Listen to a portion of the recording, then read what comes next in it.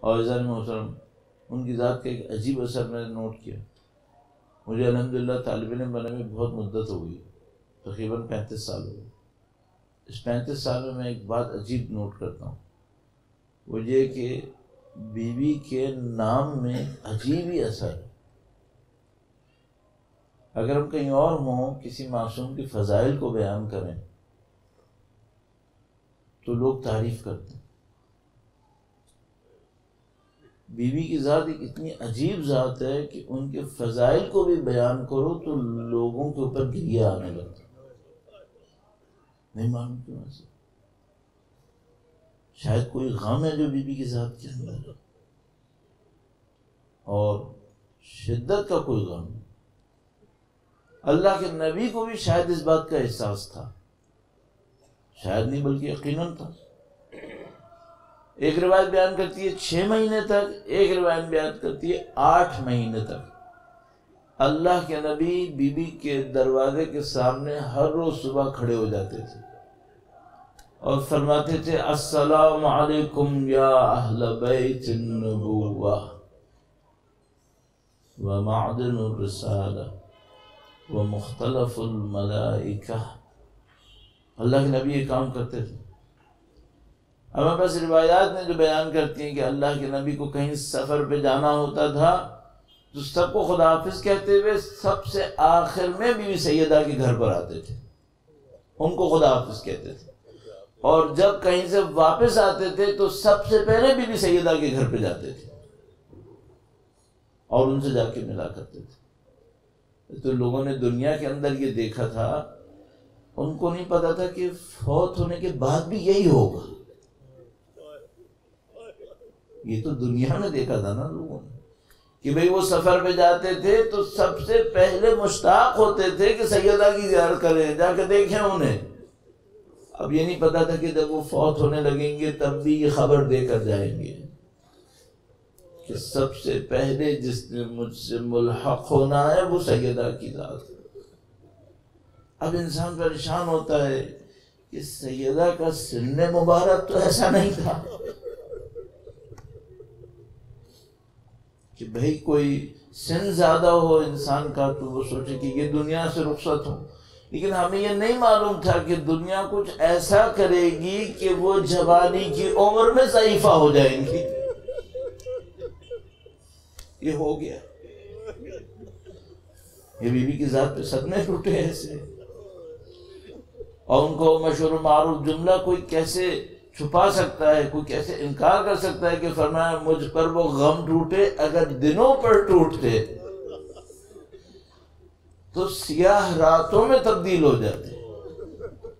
اب انسان بہت پریشان ہوتا ہے بعض اوقات، بہت زیادہ پریشان ہوتا ہے۔ کسی دوسرے دین میں جائیں، کسی دوسرے فکر میں جائیں تو ہم یہ دیکھتے ہیں کہ اگر اس دین سے، اس مذہب سے منسوب نبی کی کوئی اولاد ہو، نبی کی کوئی مختصر سی بھی چیز ہو، تو اس کا بہت احترام ہے۔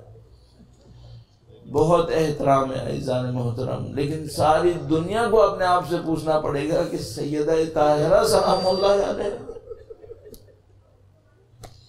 کیا مانگ رہی تھی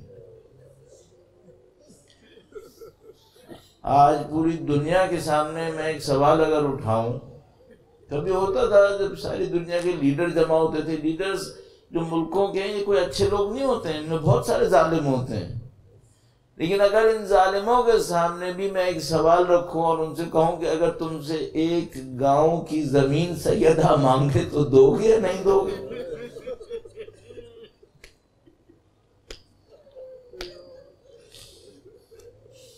حسن محترم، جو روایات ہمارے پاس ہیں، وہ بہت سخت روایات ہیں ہمارے پاس۔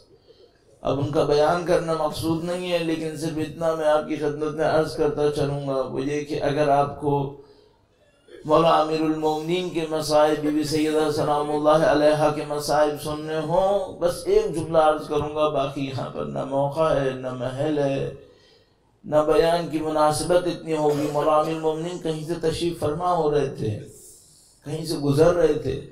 کچھ لوگ بیٹھے ہوئے تھے، انہوں نے کہا کہ اے ابو الحسن، مولا کا لقب تھا۔ آپ ہمارے ساتھ بیٹھ جائیے ہماری گفتگو میں شریک ہوں۔ مولا شریک ہوئے۔ کہا، ہم لوگ ایک دوسرے کو بتا رہے ہیں کہ دنیا میں سختی کسے کہتے ہیں؟ زندگی میں سخت وقت کون سا ہوتا ہے؟ کہا، تم لوگ بتاؤ۔ تو ایک نے بتایا کہ میرے پاس پیسہ نہیں تھا، میں فلاں جگہ پہ تھا اور وہ مجھے پیسہ کسی سے مانگنا پڑ گیا تو میری زندگی کا سخت وقت تھا۔ کسی اور نے کہا کہ میں ایک دفعہ دشمن کے سامنے تھا، کوئی میری مدد نہیں کر رہا تھا، میں دشمن کے سامنے کمزور پڑ گیا، بڑا سخت وقت تھا۔ جب انہوں نے امیر مومنین سے پوچھا کہ آپ بتائیے کہ آپ کی زندگی میں سخت وقت کون سا تھا؟ یہ تو عجیب روایت ہے یہ۔ فرمایا کہ امیر مومنین نے ادھر ادھر دیکھا کہ کوئی اجنبی وہاں نہ ہو۔ وہ بڑا ہی عجیب ایک جملہ بتایا، اس سے زیادہ مسائل نہیں پڑھ پاؤں گا۔ کہا، کوئی تمہاری زوجہ کو مارے اور تم کچھ نہ کر سکتے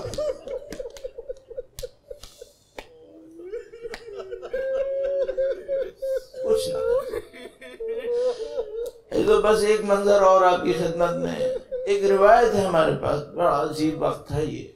مولانا المومنین نے ایک موقع کے اوپر حسنین کو آواز دی بی بی زینب بن ام کلثوم کو آواز دی کوئی اسما بنت عمیر سے فرمایا، کہا، بچوں کو لے آؤ، اپنی ماں سے الوداع کریں۔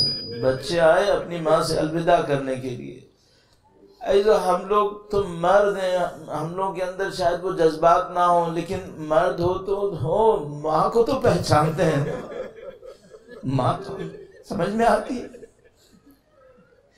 بڑا عجیب لمحہ ہے۔ چار بچے آئے ہیں اپنی ماں سے الوداع کرنے کے یہ لمحہ کیسا لمحہ ہوتا ہے؟ ایک روایت آپ کی خدمت میں عرض کرتا ہوں، بہت عجیب روایت ہے۔ اور وہ روایت یہ ہے کہ مثلا روایت میں آپ نے دیکھا ہمارے پاس ایک اصطلاح ہے دین اسلام کے اندر، وہ ہے عرش۔ اور عرش سے منصوبہ ایک عرش خدا خدا کا عرش۔ وسع کرسیہ السماوات والارض، اللہ کی کرسی، اللہ کا عرش، یہ قرآنی اصطلاحات ہیں ہمارے پاس۔ تو ایک روایت میں ہے کہ ایک موقع ایسا آتا ہے جب عرش خدا لرز پڑتا ہے۔ ایک موقع ایسا آتا ہے جب عرش خدا لرستا ہے۔ عرش کا مطلب تھرون یا تخت نہیں ہے۔ عرش کا مطلب کچھ اور ہونا چاہیے۔ کوئی آسمان کے اوپر تخت تھوڑی ہے۔ لیکن روایت نے کہا ایک موقع آتا ہے جب عرش خدا لرز پڑتا ہے۔ وہ کون سا موقع ہوتا ہے؟ اے تو بس ایک روایت کی آپ کو زحمت دوں گا اور اس کے بعد انشاءاللہ آپ ماتم فرمائیں گے۔ وہ موقع کے اوپر فرمایا کہ وہ موقع ہوتا ہے جب کوئی بچہ چھوٹا ہو اور اس کی ماں مر جائے۔ کوئی بچہ کم عمر کا ہو اور اس کی ماں مر جائے اور اب ذرا تصور کیجیے گا، ماں کو دفنا دیا گیا ہے تو بچے کو یاد نہیں رہا، سو گیا کہ میری ماں مر چکی ہے۔ بچہ سو جاتا ہے، سوتے میں انسان کو یاد نہیں رہتا نا۔ بہت ساری چیزیں دماغ سے نکل جاتی ہیں۔ اب یہ بچہ ہے، کم عمر ہے، اس کی ماں مر چکی ہے، یہ بھول گیا، سوتے میں بھول گیا۔ اور سوتے میں ہاتھ پھیلا کر اپنی ماں کی جگہ کو ڈھونڈتا ہے۔ جہاں پہ ماں ہوتی تھی، وہاں پہ ہاتھ پھیلا کے ڈھونڈتا ہے۔ اور ایک موقع کے اوپر ماں کو نہیں دیکھتا ہے تو پھر نیند سے اٹھ جاتا ہے۔ اور جیسے اٹھتا ہے تو اس کو یاد آتا ہے، میری ماں مر گئی ہے۔ روایت نے فرمایا کہ عرش خدا لرز پڑتا ہے۔ بس ایسے ایک موقع آیا۔ اب میں روایت ارز کروں نا، دونوں مکاتب کے پاس موجود ہے یہ روایت۔ ایک موقع آیا جب مولانا المومنین نے امام حسنین سے کہا کہ آ کر اپنی ماں سے الوداع کرو۔ امام حسین نے فرمایا، پہلے میری ماں مجھ سے الوداع کرے گی، پھر میں الوداع کروں گا۔ اب روایت موجود ہے، مولانا المومنین سے فرمایا، خدا کی قسم فاطمہ کے بندے کفر ٹوٹ گئے۔ اور امام حسین کو نوازش کیا اپنے وجود مقدس سے لگا لیا، ایک ندائے غیبی آئی اور اس نے کہا کہ اے علی، بچے کو ماں سے علیحدہ کر دو۔